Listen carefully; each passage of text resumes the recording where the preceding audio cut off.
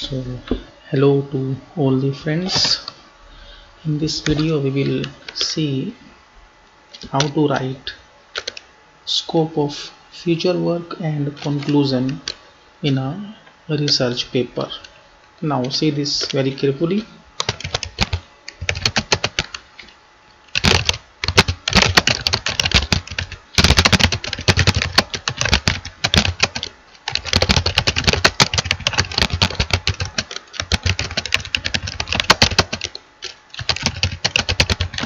so you can see that I have written a statement that write a conclusion and scope of future work of blockchain technology with reference to smart cities and ChatGPT has started writing the content which we can use in any manuscript. So you can see that AI generated content. In same way for other topics for other titles like write a conclusion on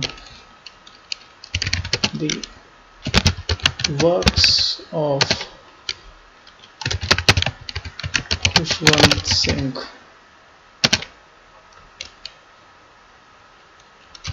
with reference to literature in English language.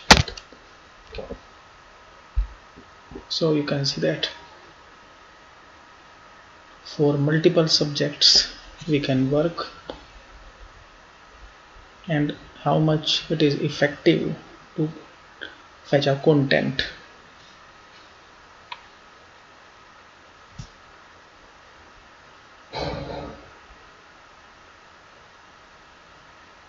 so by this way we can create a content for our research articles for research manuscripts